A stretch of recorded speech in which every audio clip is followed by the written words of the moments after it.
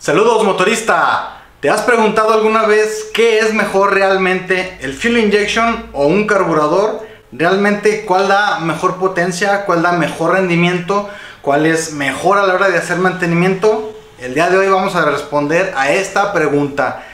Y mucha atención con las ideas que tenías anteriormente porque muy probablemente te las voy a tumbar todas.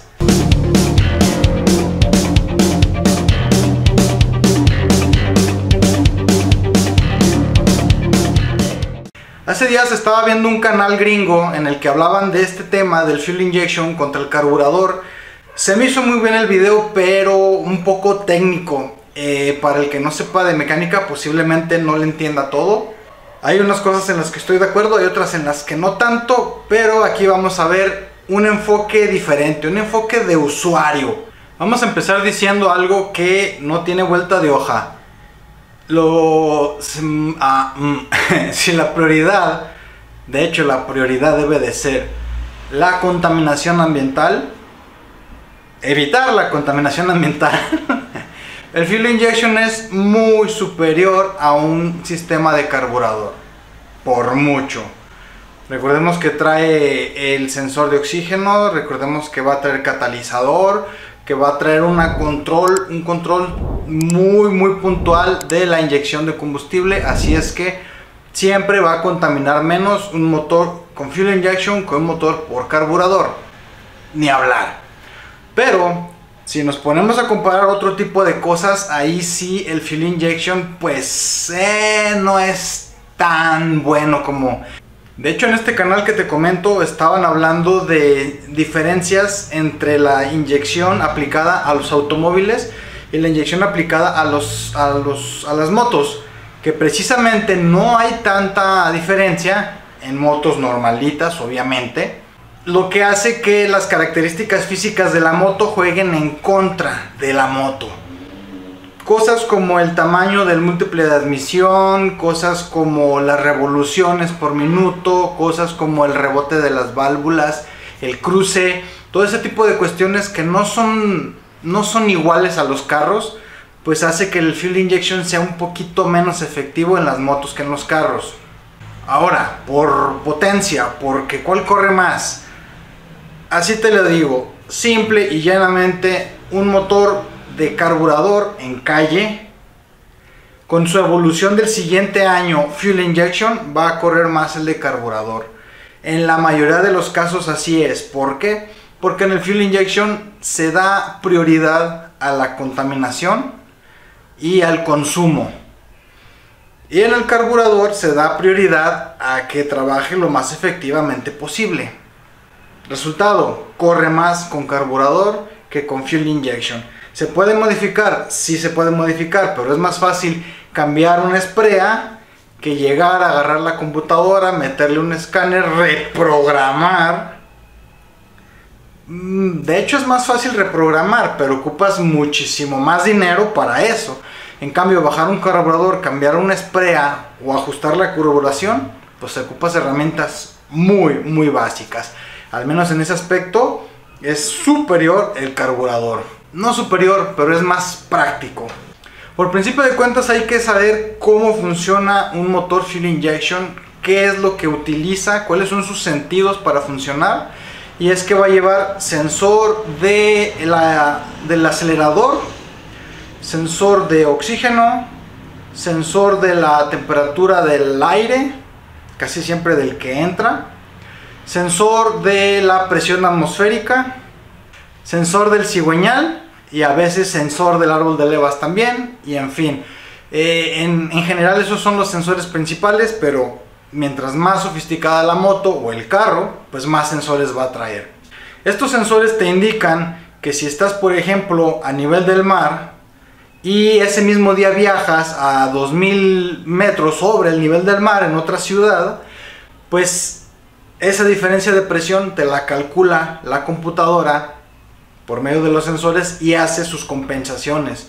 Si por ejemplo en la mañana te levantas y a nivel del mar, porque estás en la playa, estás a 30, 32 grados, y para la tarde cuando llegas a la ciudad baja la temperatura a unos 20, 22, la computadora hace el ajuste para compensar esa diferencia de temperatura. Si nos fijamos en un motor carburado, no funciona igual a las 6 de la mañana que nos levantamos con 18 grados centígrados en el ambiente a las 2 de la tarde que estamos arriba de 30. Va a funcionar mejor en la temperatura en la que carburamos la moto. No puedes abarcar las dos temperaturas con un carburador. Llegas a un término medio. Y la computadora no. En teoría debe de poner un grado en específico a los 18 grados, otro grado a los 20, otro grado a los 22, así todo el rango de temperaturas. Igual la presión atmosférica, si estamos a nivel del mar, hay una presión atmosférica, si estamos a mil, a mil, a mil grados, no, pues nos quemamos. Si estamos a mil metros es otra, si estamos a 2000 es otra, si estamos a 3000 es otra. Es por eso que si tú ves, por ejemplo, a Pablito Viajero, que agarra su, su econo y anda en chinguiza en la motillo y la arranca, se la reparan y empieza y arranca y no, la moto se siente bien chingona, jaló muy bien, les quedó muy perra, bueno. Y empieza a subir, subir, subir, subir, subir, subir, subir. Y empieza con que la moto, como dice su palabrita, se apuna. la moto empieza a, a funcionar no tan bien, se empieza a burrar. Todo motor de combustión interna a mayor altitud va a perder potencia. Si trae turbo casi no, pero normalmente los aspirados va a perder potencia, siempre. Pero un motor carburado pues sí va a, va a resentir más esa pérdida de potencia que un fuel injection, porque el fuel injection detecta la presión, la altura, y se va ajustando a la altura a la que vas trabajando. Lo que debería hacer Pablito Viajero, pero pues no lo sabe hacer, es que en donde esté, carbura la moto y cada que sube mil metros sobre el nivel del mar o baje mil metros sobre el nivel del mar, volver a carburar. Carburar. No, le das un cuartito de vuelta, le das un cuartito de vuelta. No, no, no, no, esa mamada no es carburar. Carburar, como debe de ser. ¿Qué es más lata? Pues sí. Esa es la desventaja del carburador. Que la programación de la computadora te da ciertos parámetros y te da ciertos resultados. Con esta temperatura, con esta presión atmosférica, con esta abertura del acelerador, con esta, y te hace una especie de diagrama como si fuera lo de los submarinos, ese del, del batalla naval. E5, eh, H12, y vas llegando a una coordenada que es el resultado, como quien dice dependiendo de los parámetros, llegas a, una, a un resultado. Eso es lo que hace la computadora. Una muy buena programación te va a tener infinidad de parámetros para medir con infinidad de resultados posibles. Anteriormente las programaciones eran bastante más chafas, las computadoras tenían menos capacidad, entonces esos parámetros eran más limitados. Por decir algo, por decir algo, 200 parámetros. 200 resultados más bien, dependiendo de la temperatura y la presión. Conforme va avanzando la tecnología, pues ya no son 200, son 1000, 2000, 10000, dependiendo de la tecnología de la moto. Pero aún así hay un rango definido que si tú quedas en medio de los dos rangos, la computadora ya no es exacta. O toma el de abajo o toma el de arriba, pero si quedas a medias, pues te la pelas, no es exacto. Y sin embargo, con un carburador, aunque tienes que hacer el ajuste en el momento exacto, pues puedes llegar a ese punto exacto. Con práctica, claro. Entonces, pues ahí valoremos qué es lo mejor, qué no es lo mejor. Una, una gran ventaja, nomás que malacostumbra a la gente del fuel injection, es que con el fuel injection tú llegas, abres el switch, le aprietas al botoncito y prende la moto. Sin necesidad de acelerar. Sin necesidad de ahogador. Hay algunas excepciones en que trae el fuel injection ahogador manual. No entiendo por qué. no debería. Pero la abrumadora mayoría de las motos no ocupa jalar ningún, ningún ahogador y no ocupa acelerar. Atención a esto.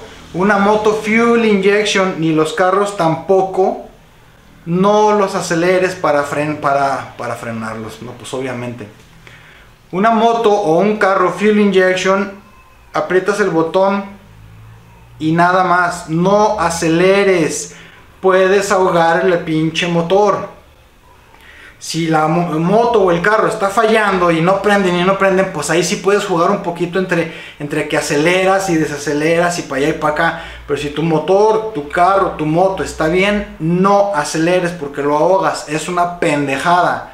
Ya aprendiendo, ahora sí le das lo que quieras. Sin embargo, los motores carburados, todos, sobre todo cuando están fríos, ocupan una aceleradita. Y muchos, aparte, ocupan el ahogador, sobre todo en frío. Y la gente se mal acostumbra creyendo que es una falla, cuando no es una falla. Lo que pasa es que el fuel injection, todo eso lo corrige automáticamente.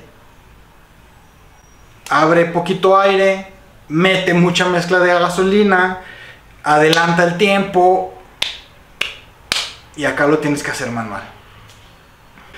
Finalmente, donde sí el fuel injection y el carburador se dan un buen pegue y va a haber gente que esté de acuerdo de una y, gente que esté de acuerdo en otra, es en los viajes. En los viajes, porque es muy práctico el fuel injection? Porque arran prendes, arrancas y te olvidas. Y un fuel injection es muy, muy, muy raro que falle. Generalmente dura décadas sin dar problemas. Más allá de algún mantenimiento cada 10 años de lavar inyectores, el filtro de la bomba, cosas así, pero no tiene ningún problema. Pero si tenemos, damos buen mantenimiento a un carburador, un carburador también se venta 10 años sin dar problemas, sin necesidad de abrirlo. Mucho ojo con esos güeyes que cada afinación quieren lavar el carburador. No se necesita ni es mantenimiento preventivo, la madre. El punto es que en un viaje donde, pues si estás dándole la vuelta a Europa, pues puedes traer una BMW GS 1250 y sin pedos vas a encontrar dónde reparar tu pinche sistema de triple abertura, de varillas, de, de válvulas secuenciales, desmo, no sé qué madres, el desmodrómico, el BTS, el sin pedos. Pero si andas metido en África, a ver quién chingados le mete mano a esa moto. Y déjate tú de lo mecánico exótico, lo electrónico. ¿Quién chingados te va a reparar un problema electrónico con una moto así? En Uganda, en Senegal. ¿Quién? Si aquí en México va a haber muchos lugares que no vas a encontrar, ¿quién lo arregle? Pues imagínate. En cambio, un sistema de carburador, pues solo que sea un carburador muy exótico o una batería de carburadores como en las deportivas que traen cuatro carburadores y que cada carburador tiene su chistecito y hay que sincronizarlos aparte, pues solamente si te vas a poner con pedos. Pero si traes un carburador, en cualquier pinche lado te lo van a arreglar, o casi en cualquier lado te lo van a arreglar. Y el sistema eléctrico es sencillo, relativamente y no basta tener tantos pedos para repararlo. Entonces, tú sabes, un sistema que nunca falla, pero que si falla nadie te lo va a poder arreglar en el monte. O un sistema un poquito más rudo, que ocupa un poquito más de mantenimiento, pero que te lo pueden arreglar en la banqueta, en la cochera, en el patio, en la farmacia. Pues ahora sí que la decisión es tuya, definitivamente. ¿Qué es mejor, fuel injection o carburador? Tú lo vas a decidir. Desgraciadamente o afortunadamente, pues cada dependiendo, el carburador va a desaparecer sí o sí.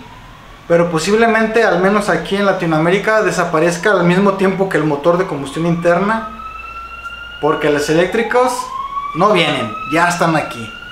Entonces, si ahorita renegamos del fuel injection, pues a ver del eléctrico, ¿qué vamos a decir? Sígueme en redes sociales, en Facebook estoy como Flamas TV, ya le corregí ahí. Flamas TV también ya dice en Facebook. En Instagram como el taller de Flamas, en TikTok Flamas TV TIC. Sigue en podcast Flamas Radio en las principales plataformas de podcast. De hecho, este era tema para el podcast posiblemente, pero no hubiera podido poner las figuritas. Bueno. Y pues como te lo digo todas las semanas, elige una ruta, no una rutina. La decisión es tuya, fuel injection o carburador. Mientras podamos decidir porque el gobierno nos va a acabar quitando los carburadores. Como extinguieron las dos tiempos, casi extintas, pues igual va a pasar con el carburador y despuesito, despuesito, con todos los motores de pistones. Un minuto de silencio por los son motores de gasolina.